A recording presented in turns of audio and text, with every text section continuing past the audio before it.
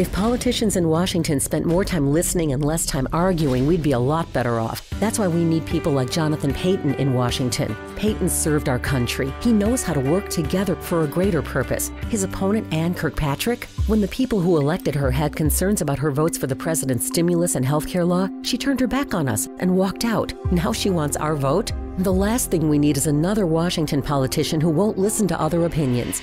American Future Fund is responsible for the content of this advertising.